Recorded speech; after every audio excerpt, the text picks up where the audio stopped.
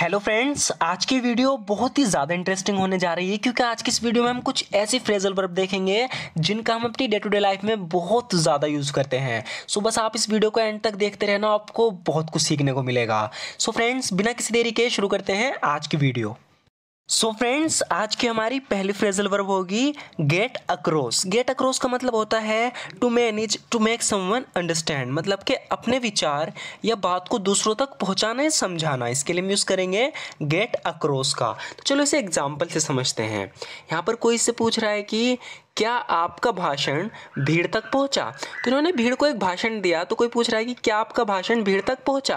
पहुँचा मतलब क्या भीड़ तुम्हारे भाषण को समझी? इस इंग्लिश में बोलेंगे did your speech get across to the crowd did your speech get across to the crowd क्या आपका भाषण भीड़ तक पहुँचा? Did your speech get across to the crowd इसका एक और एग्ज़ाम्पल देखते हैं ताकि अच्छे समझ पाएँ। यहाँ पर ये कह रही है कि पता नहीं उसे ये कैसे समझाऊँ। तो किसी को कुछ समझाना चाहती है कन्फ्यूज़ में है, कह रही है कि पता नहीं उसे ये कैसे समझाऊँ। तो इस इंग्लिश में बोलेंगे I don't know how to get this across to him I don't know how to get this across to him यानी पता नहीं उसे कैसे समझाऊँ। I don't know how to get this across to him इसका last example देखते हैं। यहाँ पर ये जो इनके छात्र हैं, उन्हें कुछ समझाना चाह रहे हैं, अपने विचारों ने उन तक पहुंचाना चाह रहे हैं, उन्हें बताना चाह रहे हैं। लेकिन बता नहीं पाए। तो यहाँ पर कहा जा रहा है कि वे अपने विचारों को छात्र तक नहीं पहुँचा सके, यानी अपने विचारों को छात्र तक नहीं पहुँचा सके, नहीं समझा सके। इस इंग्लिश में बोलेंगे they couldn't get their ideas across to the students they couldn't get their ideas across to the students यानी वे अपने विचारों को छात्रों तक नहीं पहुँचा सके। They couldn't get their ideas across to the students next phrasal verb होगी friends get along get along का हम बहुत ज़्यादा यूज़ करते हैं। इसका मतलब होता है अच्छे संबंध होना, यानी आपस में बात बन जाना। आपने इस तरीके से लोगों को कहते सुना होगा, कोई कहता है कि मेरी उससे बनती नहीं है, यानी मेरे उससे अच्छे रिलेशन नहीं है। कोई कहता है कि मेरी उससे अच्छे से बन जाती है। तो इस तरीके से जब भी हम बोलते हैं, हम यूज़ करते हैं गेट अलोंग का। तो चलो इसे एग्ज़ाम्पल से बहुत अच्छे समझते हैं। यहाँ पर ये दोनों एक दूसरे से नाराज़ हैं। ये कह रहा है कि हमारी आपस में बनती नहीं है, यानी हमारे आपस में अच्छे रिलेशन नहीं है। है, हमारी आपस में बनती नहीं है तो इसके लिए हम यूज़ करेंगे गेट अलोंग का। जैसे कि we don't get along with each other we don't get along with each other यानी हमारी आपस में बनती नहीं है। We don't get along with each other इसका एक और एग्ज़ाम्पल होगा। उसकी अपनी बहन भाई के साथ नहीं बनती। यहाँ पर इस लड़की के बारे में कहा जा रहा है कि उसकी अपने बहन भाई के साथ नहीं बनती, यानी उसकी अपने बहन भाई के साथ अच्छे रिलेशन नहीं है। She doesn't get along well with her siblings she doesn't get along well with her siblings यानी उसकी अपने बहन भाई के साथ नहीं बनती। इस फ्रेजल वर्ब का लास्ट एग्ज़ाम्पल होगा, मेरे मेरे पड़ोसियों से अच्छे संबंध हैं। यहाँ पर ये कह रहा है कि मेरे मेरे पड़ोसियों से अच्छे संबंध हैं। इसका मतलब है कहने का कि मेरी मेरे पड़ोसियों के साथ अच्छे से बन जाती है। इस इंग्लिश में बोलेंगे I get along well with my neighbours I get along well with my neighbours यानी मेरे मेरे पड़ोसियों से अच्छे संबंध हैं। I get along well with my neighbours next phrasal verb होगी friends get around get around का मतलब है अलग अलग जगहों पर जाना या यात्रा करना। अलग अलग जगहों पर जाना, यात्रा करना मतलब कि घूमना। तो इसको एग्ज़ाम्पल से बहुत अच्छे समझते हैं। यहाँ पर ये कह रहा है कि लंदन में एक जगह से दूसरी जगह यात्रा करना आसान है। इस इंग्लिश में बोलेंगे it's quite easy to get around London it's quite easy to get around London यानी लंडन में एक जगह से दूसरी जगह जाना आसान है। It's quite easy to get around London. Next होगा इसका एग्ज़ाम्पल तुम शहर में घूमने के लिए बसों का इस्तेमाल कर सकते हो। तो हम किसी को एक एडवाइस दे रहे हैं कि तुम शहर में घूमने के लिए, यानी एक जगह से दूसरी जगह यात्रा करने के लिए शहर में बस का इस्तेमाल कर सकते हो। इस इंग्लिश में बोलेंगे you can use buses to get around the city you can use buses to get around the city यानी तुम शहर में घूमने के लिए, एक जगह से दूसरी जगह यात्रा करने के लिए बसों का इस्तेमाल कर सकते हो। You can use buses to get around the city इसका लास्ट एग्ज़ाम्पल देखते हैं। बिना नक्शे के शहर में घूमना आसान नहीं है। तो कहना चाह रहा है कि बिना नक्शे के शहर में एक जगह से दूसरी जगह यात्रा करना आसान नहीं है। इस इंग्लिश में बोलेंगे it's not easy to get around the city without a map it's not easy to get around the city without a map यानी बिना नक्शे के शहर में घूमना आसान नहीं है। It's not easy to get around the city without a map next होगा friends get away get away के काफ़ी ज़्यादा यूज़ होते हैं तो इसमें हम इसके दो यूज़ देखेंगे।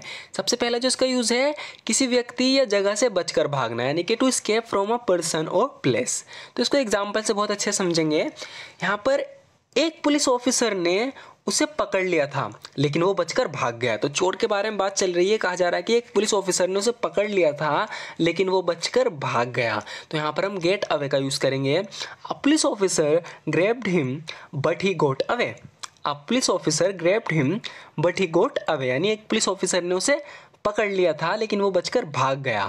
A police officer grabbed him but he got away इसका एक और एग्ज़ाम्पल होगा, ये मत सोचो कि तुम झूठ बोलकर बच सकते हो। तो यहाँ पर ये हमसे कह रहा है कि ये मत सोचो कि तुम झूठ बोलकर बच सकते हो। इस इंग्लिश में बोलेंगे don't think you can get away with telling lies don't think you can get away with telling lies यानी ये मत सोचो कि तुम झूठ बोलकर बच सकते हो। Don't think you can get away with telling lies get away का दूसरा यूज़ होगा friends to go somewhere to have a holiday often because you need to rest तो इसका जो दूसरा यूज़ है, वो तब होता है कि जब हम अपने काम वाम से परेशान हो जाते हैं, थक जाते हैं तो हम कुछ सोचते हैं कि चलो कहीं चलें, घूम का आएँ मस्ती वस्ती करें, थोड़ा आराम करें।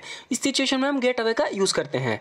तो यहाँ पर इसको एग्ज़ाम्पल से बहुत अच्छे समझेंगे। यहाँ पर इससे कह रहा है कि क्यों ना हम कुछ दिनों के लिए लंदन चलें। इस इंग्लिश में बोलेंगे why don't we get away to London for a few days क्योंकि अपने काम से बिल्कुल थक चुके हैं, इसलिए सलाह दे रहा है कि क्यों ना हम कुछ दिनों के लिए लंदन चलें। Why don't we get away to London for a few days next phrasal verb होगी friends get back get back का तो बहुत ही ज़्यादा यूज़ होता है बहुत आसान भी है। गेट बैक का मतलब होता है वापस लौटना है वापस आ जाना। सो so, इसे एग्ज़ाम्पल से समझते हैं तुम अमेरिका से कब लौटे? इस इंग्लिश में बोलेंगे when did you get back from America when did you get back from America so friends एक छोटी सी टाइपिंग मिस्टेक हो गई है। यू की जगह फ्रॉम लिखा गया। तो ये होगा when did you get back from America यानी तुम अमेरिका से कब लौटे?